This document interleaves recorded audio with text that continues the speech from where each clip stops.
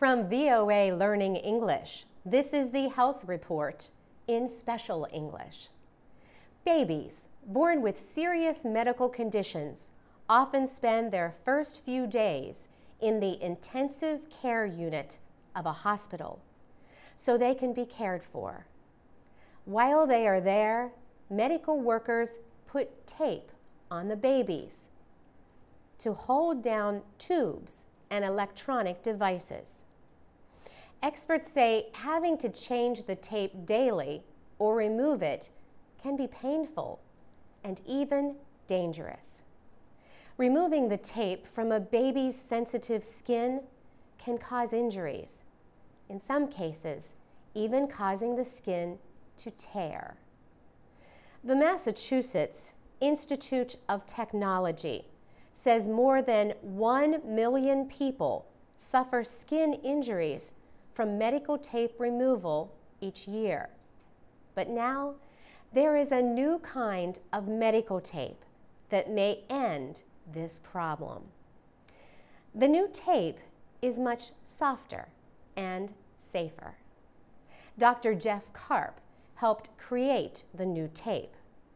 He works for the Center for Regenerative Therapeutics at Brigham and Women's Hospital in Boston, Massachusetts. He says newborns moved to the intensive care unit are usually very sick. He says medical tape is very important to secure devices to the baby's skin for monitoring. Dr. Karp says this is one of the biggest problems facing hospitals. So he and his team wanted to create a medical tape that could be removed without harming the skin. Medical tape has two layers, a non-sticky backing and the sticky part. Dr. Karp's new tape adds another layer of sticky adhesive. It remains on the skin after the tape is removed. Dr. Karp says this adhesive can be easily removed with talcum powder. The new, softer adhesive tape was designed for newborns.